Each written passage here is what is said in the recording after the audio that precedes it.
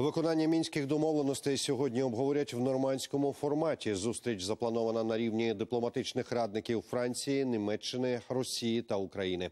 Київ представлятиме заступник голови адміністрації президента Костянтин Єлісєєв. За його словами, головна мета зустрічі цитую дати новий поштовх реалізації мінських угод. Від Росії на переговорах буде помічник Путіна Владислав Сурков.